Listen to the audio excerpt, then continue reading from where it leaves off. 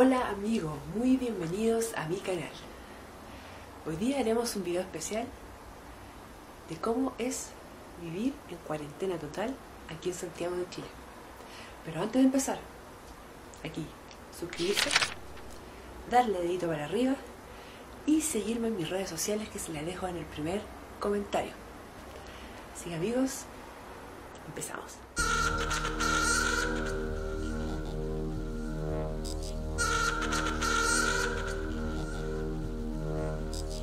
Amigos, ya acá en Santiago estamos ya en una cuarentena ya de casi dos semanas. Se supone que este jueves sería el último día, a espera de mayor información que dé el, gobierno, a ver si sigue este estado. Pero aquí pueden ver por lo menos, bien a lo lejos, por ejemplo, allá hay súper poca gente, hay una persona con su perro, hay mucho menos tránsito acá. Esta calle, acá en Santiago, es San Diego. Esto, el día es día lunes, una y media de la tarde y casi ningún auto transitando. Allá a lo lejos, ahí Santa Isabel, súper poca locomoción. Acá el Parque Almagro, vamos a hacerle un poco de zoom. También súper poca gente, personas paseando sus perros, y eso más que nada, porque es lo único que se puede salir a hacer más y a comprar y al doctor. Acá está Cóndor.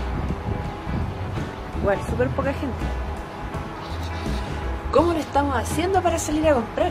Eh, pedimos un permiso en www.comisariavirtual.cl y estamos en el sitio de la comisaría virtual.cl donde se tienen que sacar los, los permisos temporales que le comentaba permisos temporales que se pueden sacar es para ir a un establecimiento de salud, clínica, urgencia, hospital, consultorio, CEFAM, lo que sea.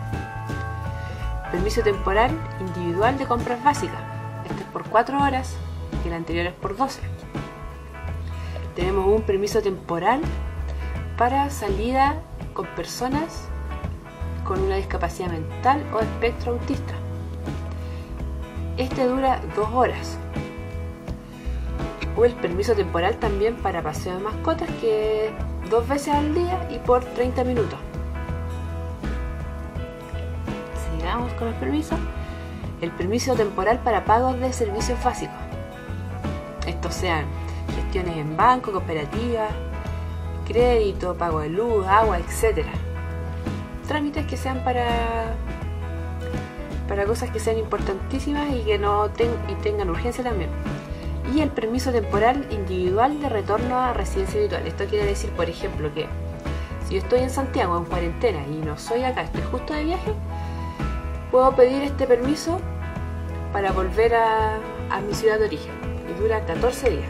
Aquí hay que solicitar los permisos con la clave única del registro civil o con el número de serie del carnet de identidad. Les cuento mi experiencia con los permisos temporales.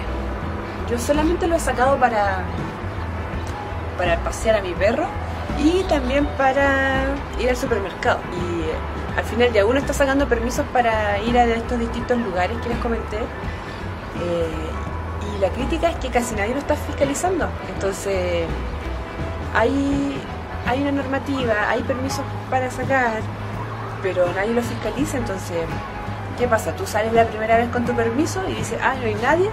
Y lo más probable es que muchas personas salgan sin su permiso hacer esas cosas básicas porque nadie lo está fiscalizando.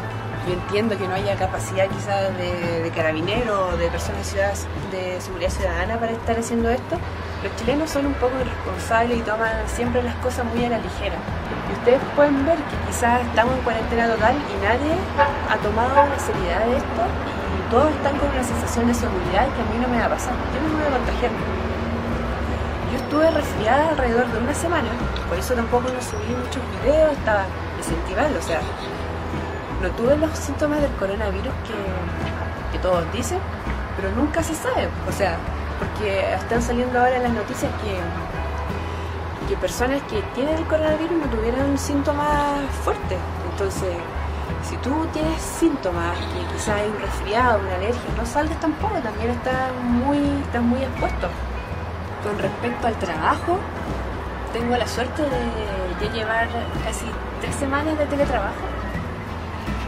Igual al principio cuesta un poco acostumbrarse porque hay que separar muy bien el espacio de trabajo con tu, con tu espacio de hogar y saberse tener tus minutos de descanso y llevar todo muy bien, todo muy bien eh, planificado y ser responsable. En los ejercicios espero volver a ejercitarme ya esta semana porque como estuve resfriada no tenía ganas de nada, de nada tampoco y como uno está en la casa más lento pasado el resfriado, o sea, los 7 días, 10 días de resfriado fueron pero eternos. Eh, y este fin de semana me pesé, y ojo amigos, con, con las comidas que igual influyen, 800 eh, gramos de más.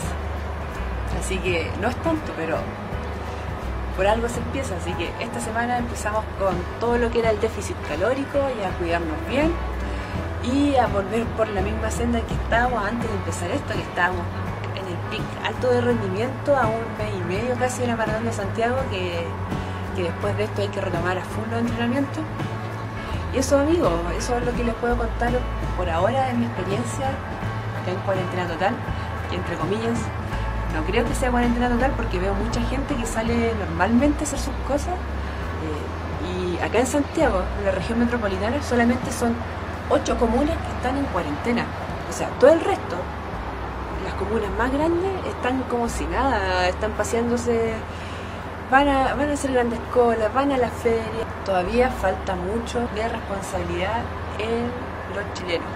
Así que amigos, si están viendo este video, por favor, traspasen esto, que se cuiden, cuiden a su familia y nos estamos viendo en un próximo video. Y antes de terminar, por favor, suscribirte, darle dedito para arriba y seguirme en mis redes sociales que se las dejo en el primer comentario.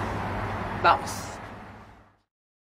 Ingresa a RTV Tienda y contribuye a la existencia de este canal. En nuestra tienda virtual podrás encontrar diversos productos sobre trekking, running, trail running y todos los accesorios que necesitas para practicar tu actividad deportiva.